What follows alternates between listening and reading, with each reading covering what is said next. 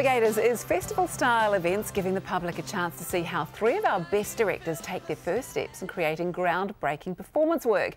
Now, to tell us more, please welcome to the cafe one of those directors, Malia Johnston, and performer Fasitua Amosa. Yes. Nice. nice to have you here. Firstly, Malia, you're one of the three directors. Uh, it's you, Katie Wolfe, and Kate Parker, isn't it?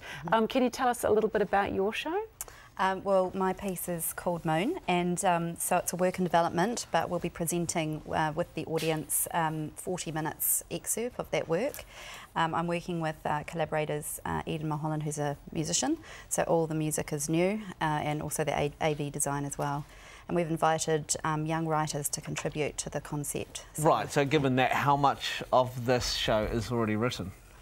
Oh no, it's brand new. So okay. yeah, so we we started um, yeah, we've been in discussions with it, but um, the musicians arrived last week uh, and they've done a little bit of work prior, but it's all very fresh and raw and wow. And, so, and the public yeah. are actually with this festival. They're going to the public are going to have a say, aren't they? Yeah. In, the, in the, what's going to be ultimately the finished product. That's right. Well, I mean, you know, it's a relationship with the audience. You know, when you're making new work and you really want to be able to share what you're doing with them and then feed that back into the final product.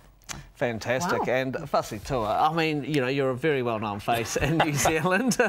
um, tell us more about the Haka Party incident that you're starring in. Yeah, so I'm working with Katie Wolfe and uh, Aroha Rawson. Um, uh, they're making a documentary theatre piece, which is a kind of a new genre for me, but it's based on verbatim style theatre. Right. Which is where you take real people's um, you know, interviews and excerpts and that and use those words as opposed to writing your own. And so it's based around the Haka Party incident which happened in 79, which was a, the engineering school in Auckland used to have a capping week stunt where they'd do a mock haka and all those guys would get into grass skirts and tattoo themselves with lipstick, okay. get really drunk and do a mock haka as to celebrate capping week. And for about 20, it started in the 50s. So right. by the time it got to the 70s, it had been in this established tradition that at the same time Maori were writing to them saying, "Can you please not?" Mm.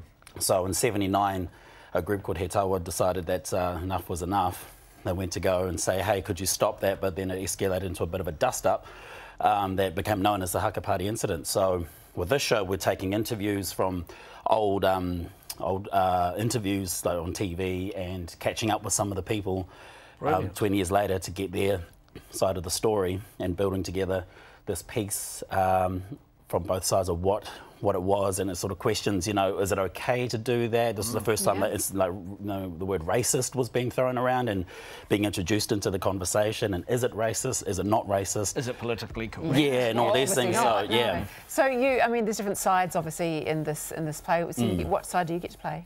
Well, I get to play some of the the Polynesian and the Maori sort of activists that were around at the time, a part of this group called He Taua. Some great. Um, footage of interviews that, that they've done in the past, and, and so yeah. So it's really interesting. No, but yeah. it's, a great little piece of history too mm. that hmm. I think we probably could learn a lot from. And Malia, I was thinking, is this is this a scary way to do a show? You know, inviting people to sort of see the process. Would you not rather just have a finished product that they see? Yeah, I mean, I've been doing this for a while, so yeah, it, it is scary, but um, I'm really excited by the relationship with, with the audience. Well, um, what does that add to the show? It just it just adds um, it, it just allows us to really get a sense. We, we're wanting to work with technology and integrate the audience in a in a really warm and friendly way, not in a scary way. We don't want to like make yeah, people terrified. Yeah, us. no, there's going to be none of that because I absolutely hate that myself. Good. But um, but we really want to be, people to be able to contribute, and so we're looking for ways that we can incorporate that into the performance. And so we really need to research that with the people. We can't just sort of make it up on the spot no. and then present it. We need to yeah. have a play with that. So oh, that's going to be fun. Yeah, it's, it's going really to be cool. Quite an experience. Now there's yeah. another show, another play too from this, the, the Wild Seed Thief from Kate Parker. What do you guys know about that one? Um, well, Kate's uh, very much into physical theatre and puppetry, and she's got an amazing creative brain, and she's uh, working with the idea of the um, precious kauri seeds and how they're um, endangered. And so she's constructing a physical theatre and visual work in response to that. That's going to be family friendly as well. Wow. Nice work. And Tua, what do you love about this concept? Um, I just love the concept of taking uh, something that you'd normally see on a screen, like documentaries. We know documentaries, we see yeah. a lot of them, and presenting that, but in a theatrical uh, yeah. uh, you know, version of something that includes, you know, uh, old screen footage and performance, you know, because otherwise, if it's too much screen, you may as well just watch it on a screen. Yeah. If it's all theatre, then it may as well be all theatre. So where's the relationship between the two things to present um, a bit of history uh, live. It Yeah. sounds Brilliant. intriguing. You know what I like about it too? They sound like three completely different things as well. Hey, thank you so much, guys, Yeah, for coming thanks, in and explaining it to us. Now, if you want to find out more about the Navigators Festival, which opens tomorrow ahead, you can head along to the website atc.co.nz.